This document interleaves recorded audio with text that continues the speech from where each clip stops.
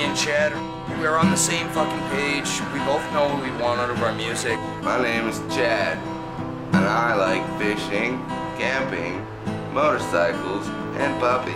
We're annoying and you have to listen to us. Well, it's a hard life when you live with me. Getting so fucked up you can barely breathe. They get punched out and you lose some teeth. Just a block from the bridge you live underneath. We were in Winnipeg and we actually rode, did I learn my lesson? And that was like uh, the breakthrough that merged me and Chad together.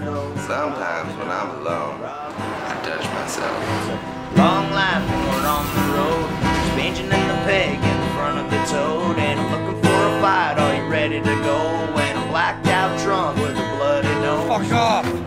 I was taken away from my reserve and brainwashed by some Christians. I'll never get why I'm treated differently than them. I hate Christianity. Did I learn my lesson? Lord knows, no. Children don't need to be put through that. I had to go through that fucking shit.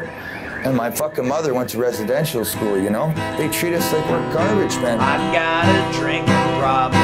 I just ran out of beer.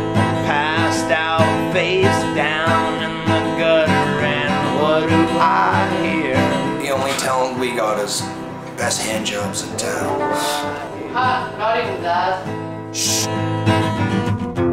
Did I learn my lesson? No, Those people suck. Did I learn my lesson? Oh Lord no, What day is it?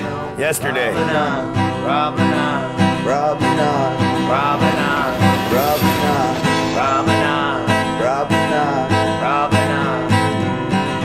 life when you live with me, when you kill your strife intravenously, and you leave your wife and you cross country to do it again with some family. But it's a good life, in time you'll see.